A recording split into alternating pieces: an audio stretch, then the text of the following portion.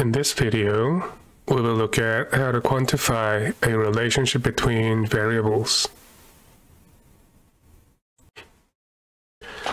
Many studies measure variables on the same individuals, same subject, or same samples to understand if there is a statistical relationship between the variables.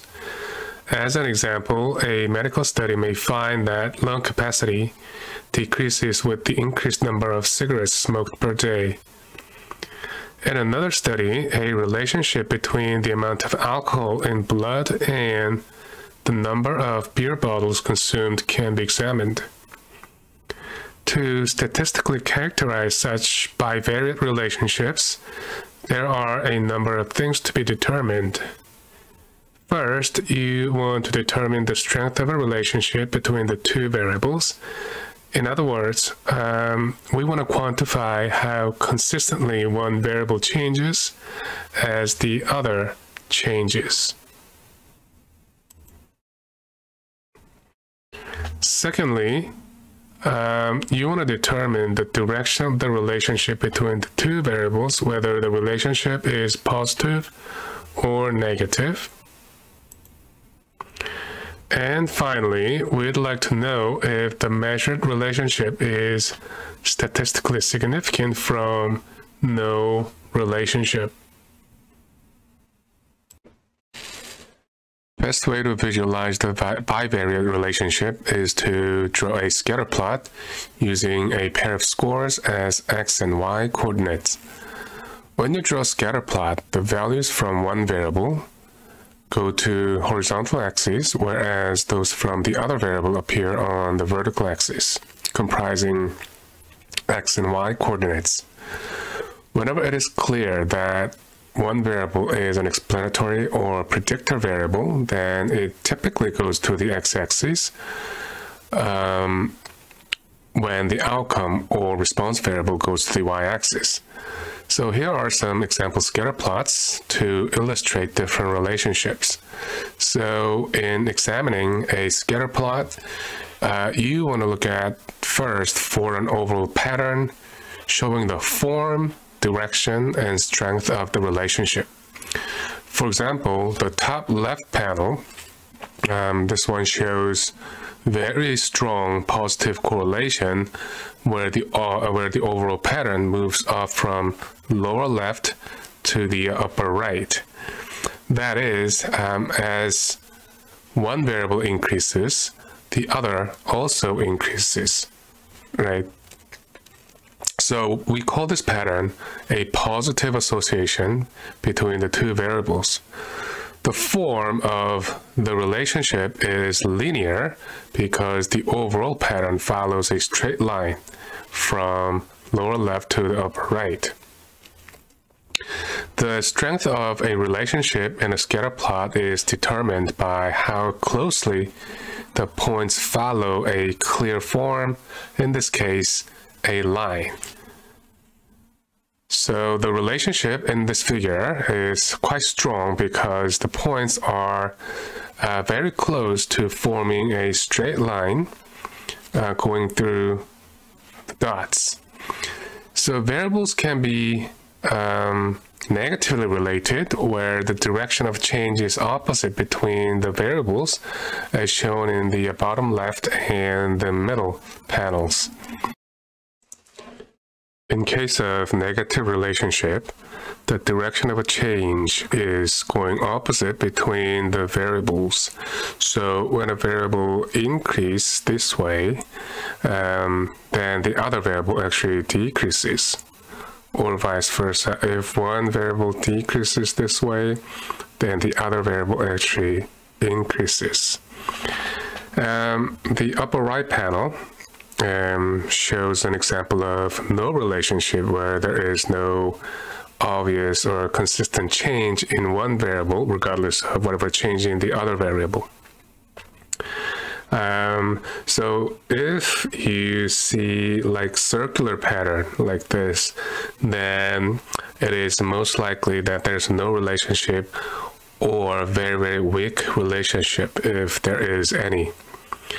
And finally, there can be other relationship than just a linear relationship as shown in this uh, bottom right corner where there seems to be a curvilinear relationship instead of a straight line. So, well, maybe the, um, the right part of the um, pattern can be modeled with line, but you know, if we just connect all these dots, so if we just draw a line going through these dots, then we can see that this is more like a you know curve instead of a straight line. Um, in this lesson, however, only a straight line relationship will be of concern. Now let's take a look at an interesting study published in Science where the researchers used the correlation statistics to figure out the role of non-exercise activities such as fidgeting and the fat gain. Have you ever wondered why your friend seems to stay slim even though she or he stuffs his or her face with food all the time when you get bloated like a pufferfish instantly even from drinking a cup of water? Interestingly enough, some people don't gain weight even though they seem to eat a lot more than they deserve. So the researchers hypothesized that maybe fidgeting and other non-exercise activity related to the observation that some people may spontaneously increase the non-exercise activities when they eat more than their fair share. So the researchers provided excess amount of food to 16 healthy young adult volunteers for eight weeks. Compared to the baseline, they measured fat gain uh, in kilograms as an exploratory variable, and they also measured the change in energy expenditure of the volunteers as a, a response variable from the activities other than deliberate exercise, such as fidgeting, posture, uh, posture maintenance, and the like. So here are the data. Now the question was whether or not people with larger increases in non-exercise activities tend to gain less fat. So to see the pattern in the data, we will make a scatter plot using Jamovi. So here are the data I already typed up in Jamovi. So the first column represents the um, the non um, uh, the the energy expenditure change um, from the uh, non-exercise activities and the second column is the um, change in the fat gain compared to uh, the baseline. So to um, see if there's any uh, relationship between these two variables, um, you want to draw a scatter plot. And you can actually use this uh, um, menu, regression menu, to calculate the correlation matrix. Uh, but it's better to use other module uh, for the purpose of drawing a scatter plot, which is called scatter. And so you want to install this.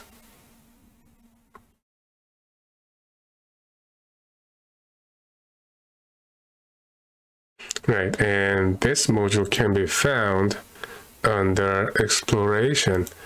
Now you can see that there is new menu um, uh, is created. So let's just click scatter plot. And then um, we want to see the regression line, uh, which should be linear, the straight line um, the marginals and you know this this will show you the distribution of each variable. But um, the visualization is not so great. Um, so we're going to just uh, you know leave this um, as is for a moment. Um, but you know you're you're welcome to experiment with these options to see you know um, uh, what they look like. Now, because the change in the non-exercise activity, um, I mean the energy expenditure change uh, from the non-exercise activity is our explanatory variable, right? So you, you want to move that to x-axis, uh, basically the horizontal axis, and fat gain is the response variable. So that goes to the y-axis.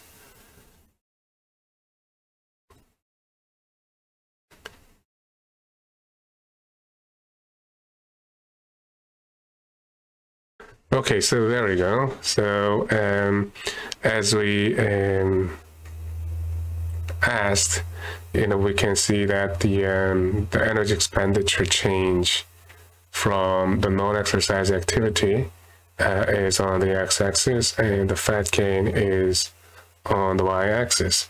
So um, just to suppress the regression line, and from this just a cloud of dots, we can see that there's uh, some negative relationship going on here, right?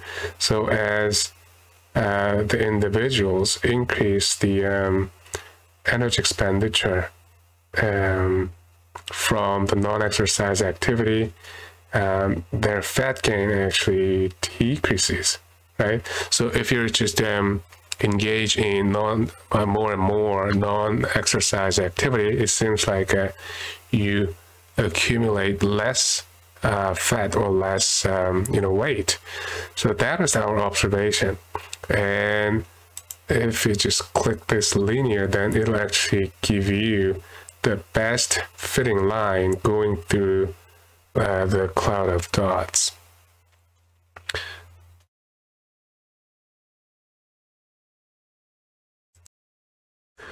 Now let's uh, quantitatively characterize the relationship. Perhaps the simplest way to look at how two variables are associated is to calculate how much they covary. So the covariance statistics is an index of how much two variables vary together and the equation of the covariance uh, basically amounts to the averaged sum of cross product deviations. If you think about how you calculated the variance from the exploratory data analysis, the variance is a special case of the covariance where the two variables are identical. So you notice that this equation um, is uh, basically the same as the variance equation, except that um, you know, instead of squaring the differences, we multiply them um, by the corresponding difference, deviance or the residual. That's what they call. Um, so basically, the variance is this. So co x x instead of a y. So that becomes sum of um, x over bar, uh, x minus x bar over n minus 1 squared. Right, so that is the variance basically. But now we have two different variables. Um, so it has more general form of covariance statistics. Um, now the cross product deviation calculates, so that's what's on top before the summing sign, so that, uh, so that is the cross product deviation, um, and that calculates the similarity between the patterns of differences of the two variables by multiplying instead of adding the deviances, also known as resid uh, residuals. If both variables, uh, both residuals, sorry, have the same signs, uh, meaning both are positives or negatives, then that cross product will give us a positive value, indicating the residuals being in the same direction. However, if one residual of one variable um, is positive and the other is negative, or vice versa, then the resulting product will be a negative, indicating the residuals being uh, opposite in direction. So now let's use Jamovi again to calculate the covariance in step-by-step -step fashion. Now we're back to Jamovi and let's just go back to data. And while we're doing this, um, uh, I hope you have that you know slide in front of you, right, uh, with the equation, the covariance equation. See, if you look at the equation, uh, we're going to calculate the uh, the cross product first before we sum them. But if you look at um, the each bracket, um, you need to calculate the deviance, right? So xi minus x bar is the deviance of the x variable, which is the uh, non-exercise activity change, and the yi minus y bar is the deviance of the fat gain from um, the mean of the fat gain, right? So to calculate the uh, deviance um, statistics of each variable, uh, first you need to know uh, their respective means, right? The, the averages. So we need to calculate the average first. So descriptives. So you move. Um, so all you need to know is actually mean and the standard deviation for later uh, when we need to calculate the uh, correlation coefficient. So uh, these are the only things that we want to know. Right, so we have 16 data set, 16 pairs, right? And the mean of the NEA change is uh, this, and the mean of the fat gain is this value. So now that we know uh, the means of each variable, we can calculate the deviance of each variable. Right, so we can uh, easily calculate this using the compute function. So let's start with the NEA change first. So let's say this is um, x minus x bar. I don't know if it is allowed. And what you want to do is to subtract all the values of that variable minus, oops, um,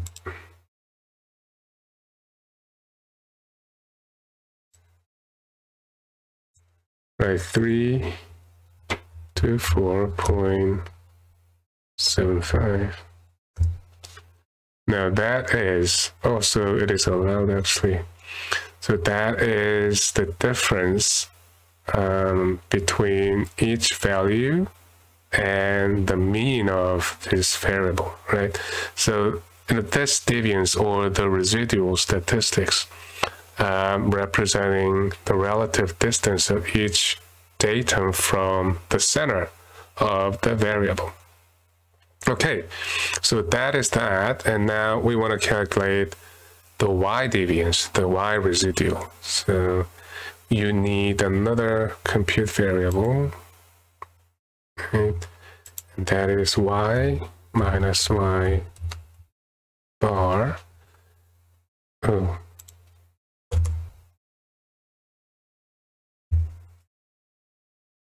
Now click that, and now you have to move fat gain minus the mean of the fat gain, which is 2.3875. If we do that, Right. So then, you know, these are the relative distance of um, the fat gain values from the center or the mean of the fat gain. Now that we have uh, two residuals, you have to multiply them, the cross product. And to do that, you need again another compute variable. And cross product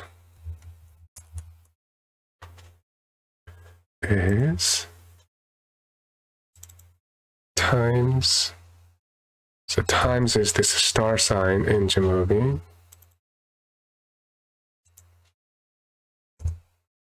Okay, so that X product column is now created for us, which is the cross product between these two columns, right?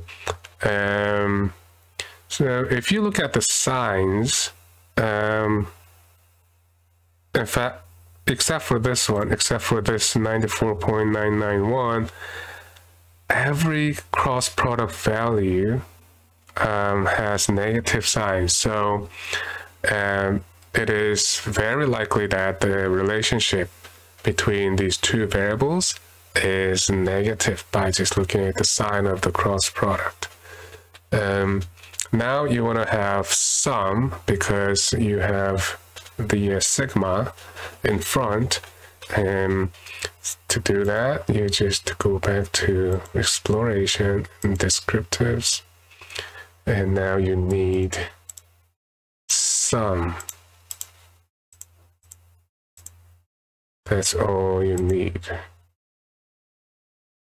Okay so this is our sum the sum of the cross product and negative um, 3427.1 so um, now that you have this um, numerator value now you have to divide this by the number of pairs 16 minus 1 which is 15 so if we just so go back to the slide and that's negative over minus 1. Then we need calculator. So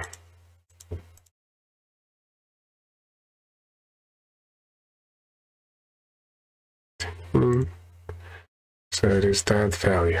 Now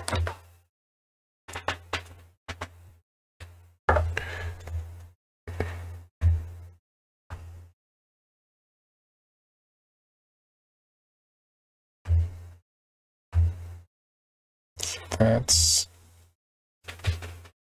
Two,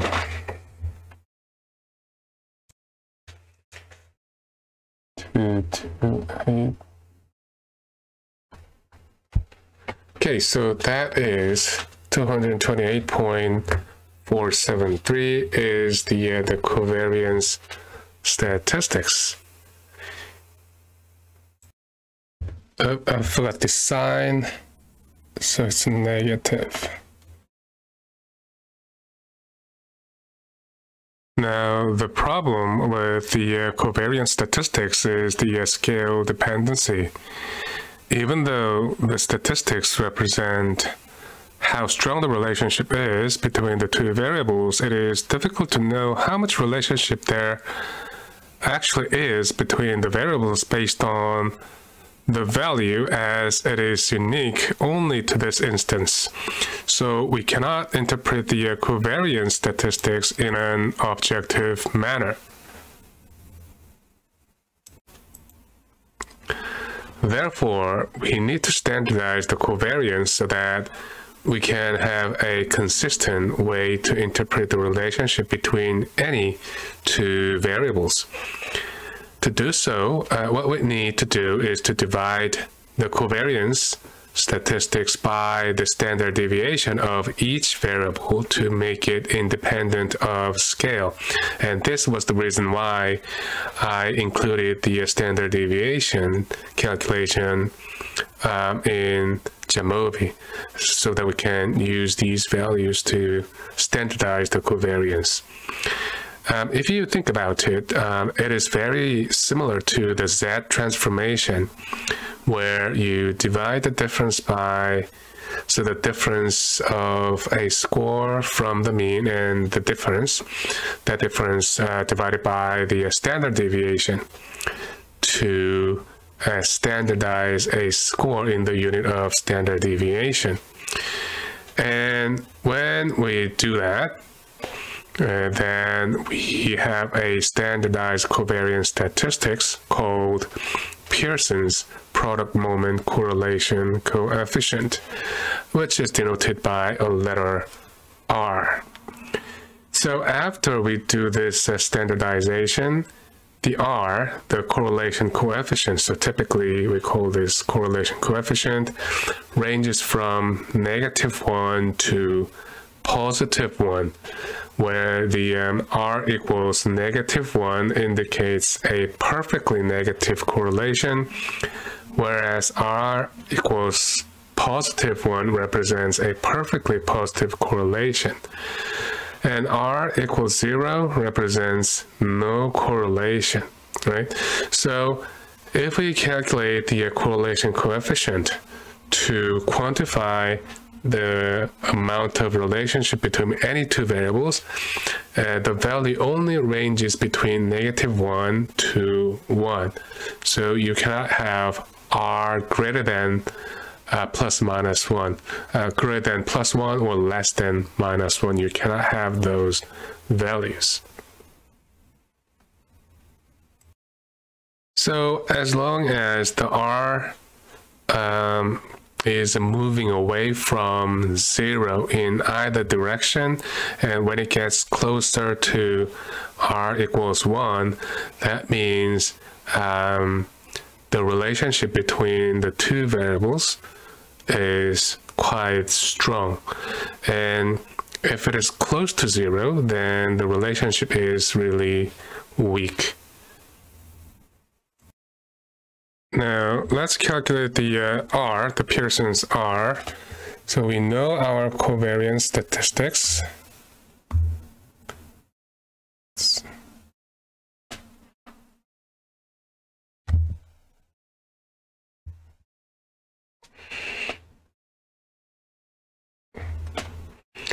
And now we need to go back to Jamovi to find out the standard deviations.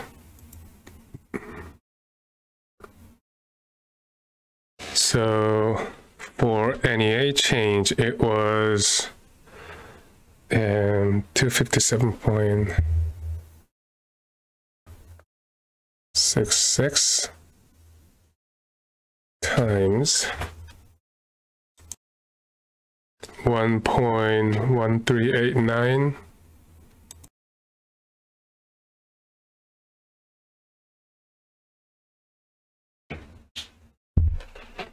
Now we need calculator.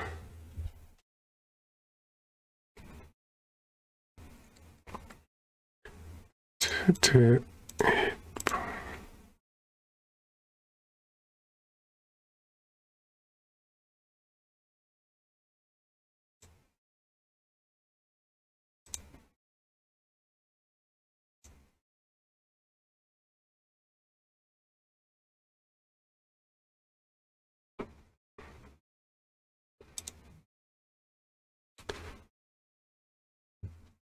So it's about 0.78, 0.78.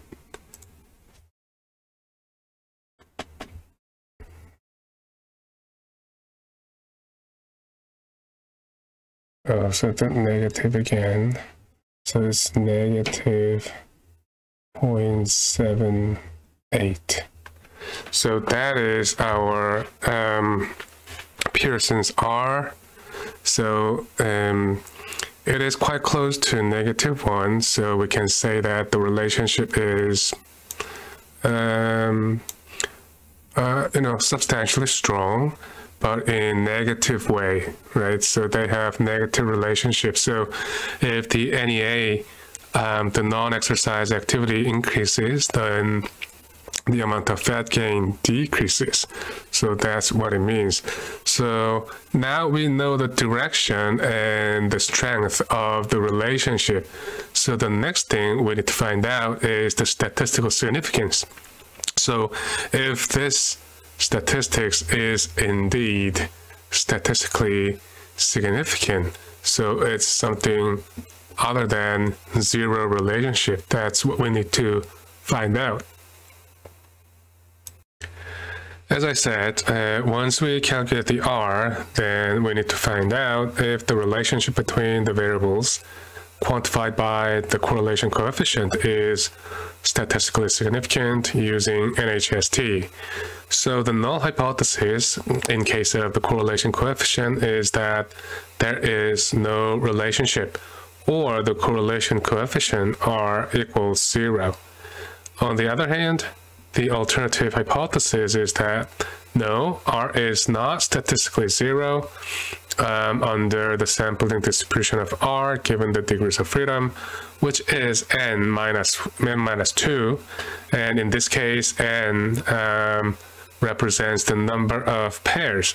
So in our previous data, we have 16 pairs, right? Um, so the degrees of freedom for our data is 16 minus 2 equals 14. And because the sampling distribution of Pearson's R does not follow the normal distribution, Fisher, Ronald Fisher, uh, made the, uh, the following transformation um, to make this sampling distribution ZR's um, distribution um, follow normal distribution. And here, um, where did it go? Oops. Sorry. Um,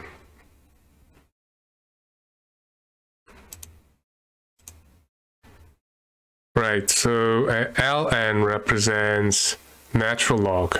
So it's a log base E epsilon, and R is uh, the Pearson's R we just calculated, and uh, SEZR is the standard error of this ZR, the transformed quantity, um, which can be calculated using this equation where the n, big N, represents the number of pairs of the data.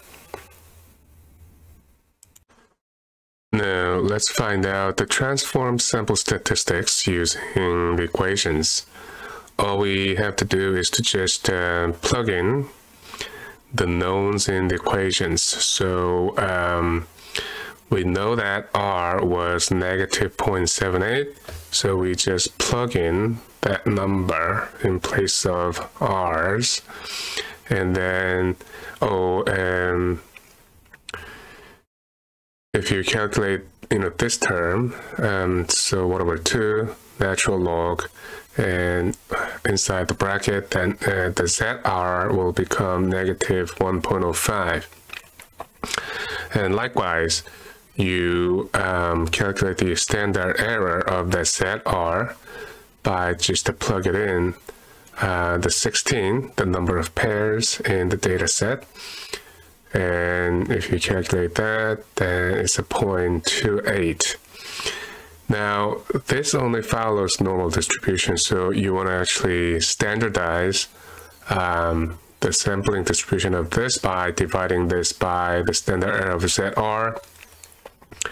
Um, so you just plug in those two numbers you obtained, and then finally um, the standardized zed score of that ZR will be negative 3.75.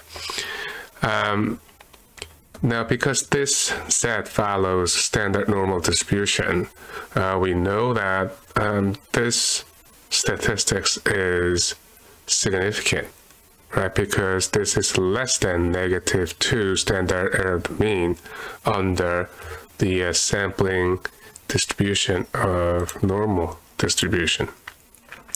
So this is a, a observed statistics negative 3.75 and under a normal sampling distribution, um, you know, with a plus minus two standard error the mean, um, we have 95%, and the remaining tail um, represents the 5%, the alpha uh, level, uh, the level of significance alpha 0.05, right? So that is the rejection region. So your statistics should be um, more extreme than these boundary values on the other side. So this is two-tailed way. When it is two-tailed, the alpha 0.5 is divided by 2. So we only have 2.5 at each end. Now, if you look at the location of this um, observed statistics, that it is actually on the far left here right? Somewhere here. I mean, it is not the exact location, but we know that it is actually less than um, negative 1.96. So we know that this statistics is extreme enough. So we reject the null of no relationship this time, right? Even though we do not know the, um, the actual p-value of this, but we're going to just see how to calculate this using Jamovi. And the 95% confidence interval, and you can just use these equations to find out the lower boundary and the upper boundary of uh, the ZR actually. So if we calculate the lower boundary is negative 1.6 and the upper boundary is negative 0.5. So the 95% confidence interval for ZR, not R, becomes um, these, right? So this actually um, placed in between these two values and because those limits both limits have negative sign, that means is um, statistically significant um, relationship this time. So it is actually not including zero, r equals zero, z r equals zero. So uh, we know that this um, relationship is significant. However, because this is a 95% confidence level for ZR, which was in at the natural log space, right? So we need to actually convert these back into the real space, the real R space, so that um, we can have um, the values in the right um, you know unit. So same as the the original unit, and so you basically have to rearrange uh, this equation for R, which is quite um, complicated uh, if you're not familiar with how to do this. And, but I'll just explain you know, how you rearrange this to find out the, um, the 95 correct 95% confidence interval in real space. So I'll just only um, take an example of the lower um, boundary uh, because the upper boundary will be the same. So basically from this equation,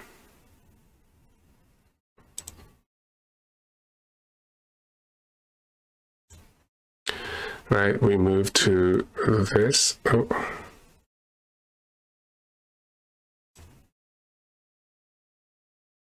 And we need to multiply 2 on both sides so that we have 2 in front of the left term, right?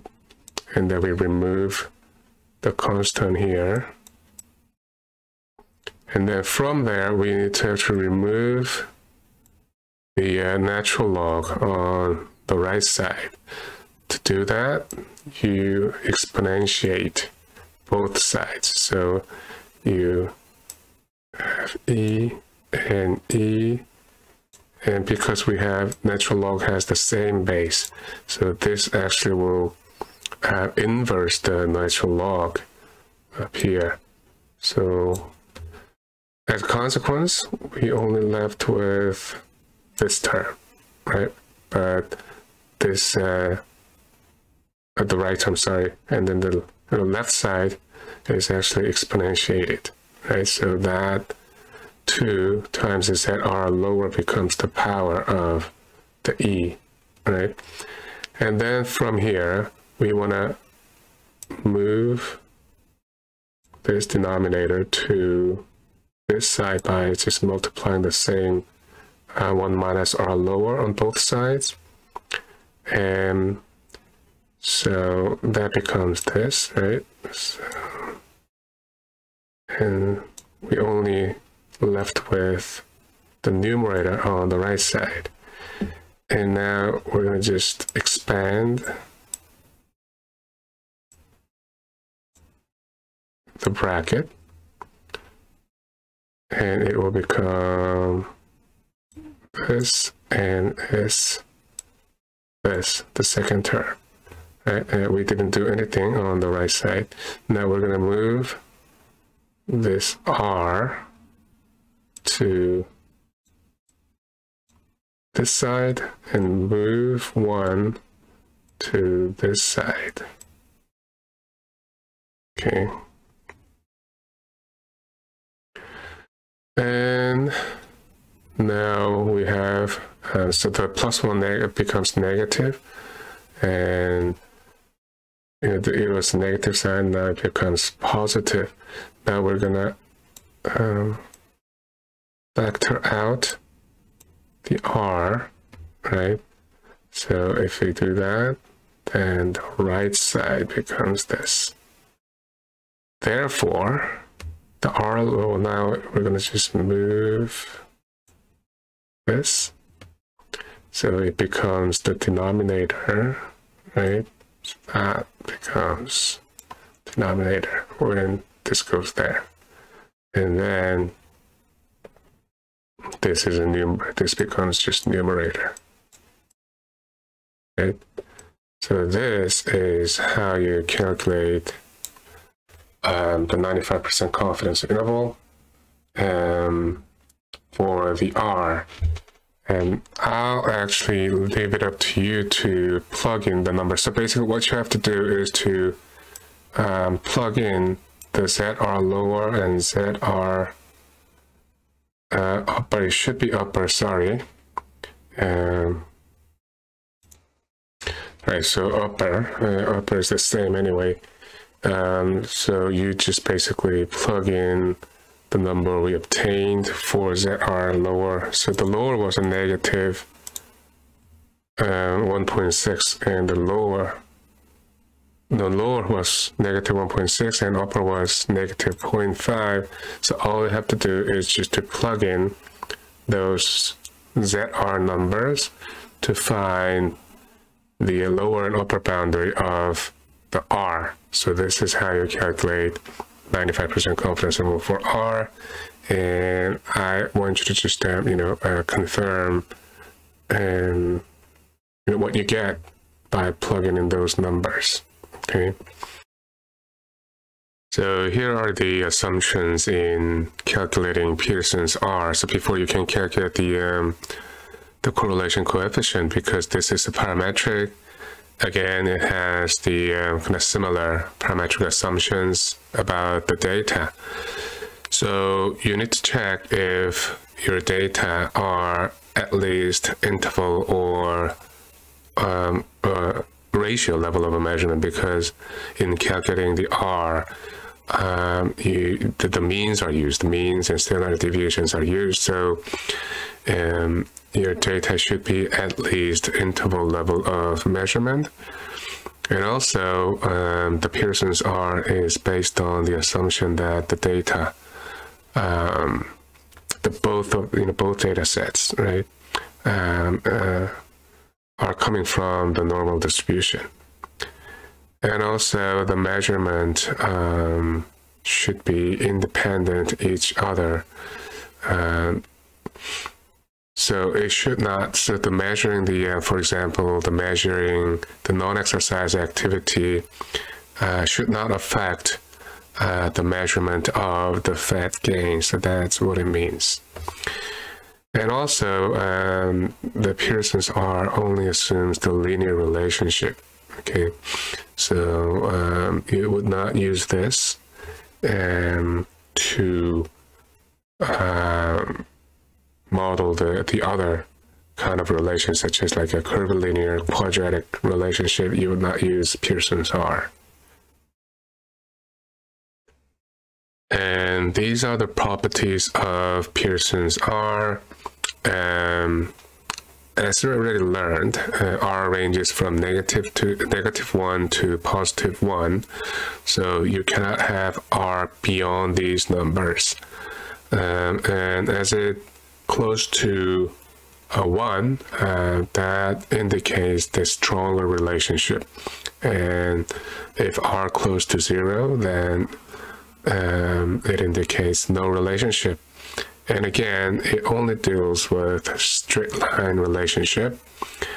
And also, um, Pearson's R is symmetric um, between the two variables. What that means is that, you know, remember one variable goes to x and the other goes to the y. So it doesn't matter which one, which variable goes to the x and y. So we can, we can flip this. Even if we flip this, um, so we flip x to y, y to x, we still get the exactly same um, correlation coefficient. And finally, um, correlation coefficient is not affected by linear transformation of variables. And what that means is that adding, subtracting, and or multiplying a variable by a constant does not change the correlation of um, that variable with the other variable before and after uh, that transformation. So for example, the correlation between weight measured in kilogram and height measured in centimeter will be the same um, if we change the scale of those two variables to uh, pounds, so for weight, and height in feet. So even if we change the scale or the unit of uh, those variables, as long as uh, the conversion or the transformation is linear, then it will not change um, the strength of the relationship between the two. So that will become the problem um, to use the Pearson's R as a um, way to uh, measure the agreement between the two method measuring the same thing. And we're going to talk about this later um, when I explain the Bland-Altman um, analysis. Right. Um, again, for the Pearson's R, we also have a non-parametric alternative um, in case the normality assumption is violated. And this non-parametric alternative um, correlation coefficient is known as Spearman's correlation coefficient. Um, so instead of R, uh, it is rho statistics. So that is another Greek letter uh, to represent the Spearman's correlation coefficient. So again, this requires fewer parametric assumptions than Pearson's R, so it can be used in place of Pearson's R when some of the assumptions um, in Pearson's uh, breaks down. Um, so basically you use this um, when uh, the normality assumption is violated. Uh, also when your data set is ordinal uh, level of measurement. So this is uh, how to report the correlation coefficient. Um, so you have to indicate, you know, which correlation coefficient you used. Uh, if it is a Pearsman, uh, I mean Pearson's, then you use R. If it a Spearman's, um, then you use rho. There's another non-parametric way to calculate the correlation, uh, which is Kendall's tau. Um, if you use the Kendall's tau, then you use tau, the Greek letter tau. And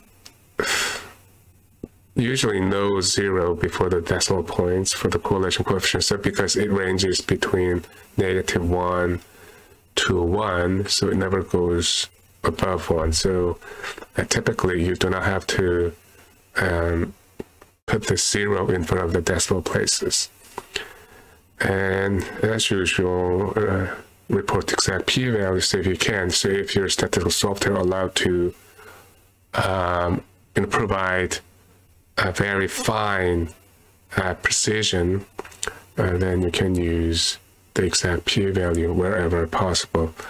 If not, I mean, you know, in case the p-value is just too small, um, you can just uh, uh, use some nominal kind of a um, level, such as 0.01, 0.001, and so on. And this is kind of a sample sentence, how to report the correlation statistics, so the negative relationship between the non um, exercise activity change and fat gain was significant. R 14 degrees of freedom and minus 2 equals negative 0.78 with the 95% confidence interval such and such. Um, and again, so these limits are actually in the real space, um, not in log space. And we'll see how we get that from Jamovi. And the p-value to observe uh, this correlation statistics or more extreme is this, which is less than 0.5, so we have significant correlation between these two variables, the non-exercise activity change and fat gain. So now let's just um, uh, look at how to calculate the correlation coefficient and 95% confidence interval and p-value using Jamovi. Okay, so here is um, the data again. Um, so before we do anything, we need to do um, run descriptive statistics. And for statistics, let's just uh, get mean standard. And you need to check the normality, right? Um, plot we can have box plot with the mean on it. And so you move both variables.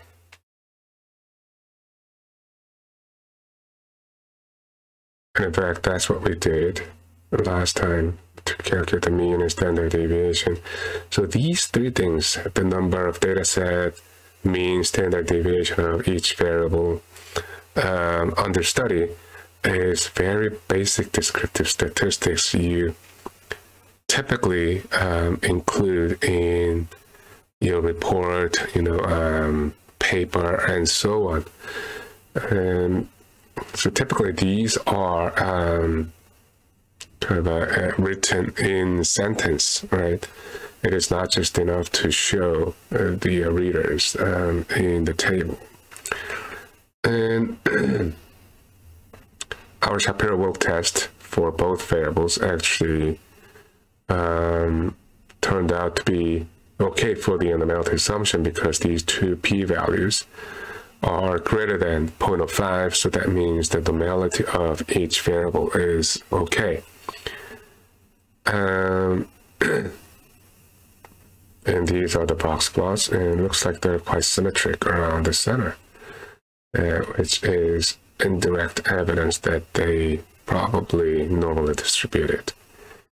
And after that, you need to um, plot the scatter plot. So um, let me show you what I mean by they are symmetric. So we actually move the um, uh, non-exercise activity change to the x and gain to the y, right? and, and look at this. And I'll just flip these two variables so that that can go to x-axis and non-exercise active go to the y-axis. And it doesn't help that the scatter plot should look exactly the same. Okay, I mean it is just flipped around this um, the line, but the actual correlation coefficient will be exactly the same. But it is recommended that um, you move the explanatory variable to the x-axis uh, whenever we know it, uh, whenever it is clear, and then the response variable goes to the y-axis. Okay. Um, so now you need this scatter plot. You need to report the scatter plot, and sometimes you include the regression line to model uh, the relationship uh, we're not going to cover here and to calculate the correlation coefficient, you need to go to regression correlation matrix.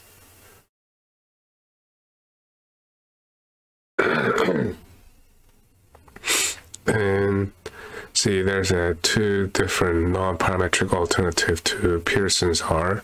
But Pearson is default analysis. But in case the normality was violated, then you need to choose one of these. Um, so you move these variables to find um, all the statistics. So this is a correlation matrix table um, because uh, it is symmetric between the two variables. It has kind of a two by two table. But you know, if you look at um, this non-exercise activity change and non-exercise uh, uh, non-exercise activity change, this is autocorrelation, right? So this is meaningless. It will give you the perfect correlation the Pearson's R of one or in a negative one. So it is not showing you. And by the same token, you know, the fat gain versus fat gain. So this is just the, you know, autocorrelation. So you do not need that. So all you care is um, the correlation between fat gain and the non-exercise activity change. So you only need to look at this. So this is Pearson's R, negative 0.77856. So um, but two decimal places, you can see that this is negative 0.78. Um, so this is what we calculated. And p-value for this is this small, right? And there is actually kind of a footnote here with the three stars. So it actually flags significant correlations for you. So whenever you see star, that means this correlation coefficient is statistically significant.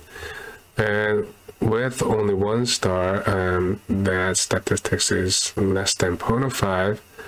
And we have two stars, um, it is less than 0.01, and three stars less than 0.01, and so on. So we do have actual p-value, so you can report the actual p-value uh, instead of using this kind of notations. Well, uh, people use um, the star system um, quite often, but and it is recommended that you report the exact p-value whenever you can. And these are the um, upper and lower limits of 95% confidence interval, and which was reported in your slide. And here is the n equals 16. So that is the number of pairs of um, the data set. Right, so as a summary, so here is um, sort of flowchart of correlation analysis. So, um, like everything else, you need to explore the data first, have descriptives and some box plots. Uh, in case you have quite large data set, you might want to have histograms too. And you also want to check the level of measurement. Um, and if the data set are the, the, the data set is an interval or ratio level of measurement, then you can check the parametric assumption if both data sets are normally distributed.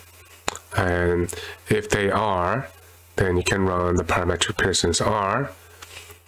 Um, but in case your data set um, is ordinal level of measurement, then you do not have to check the parametric assumption. You just go straight to run the Spearman's rho. Or if the level of measurement is interval and ratio, but um, the data did not pass the assumption check. So, for example, uh, one of uh, the variable is not normally distributed, then again, you need to choose to run Spearman's rho. So this is kind of a, a basic steps um, to take in running the correlation analysis.